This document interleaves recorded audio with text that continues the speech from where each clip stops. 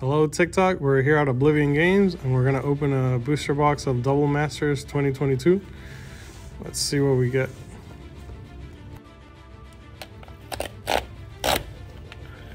So this is kind of crazy. It definitely doesn't bring as many packs as the regular collector boosters. Let's see how this goes. Okay, so it's like on a box within a box. Uh, here and it comes with uh, four booster packs.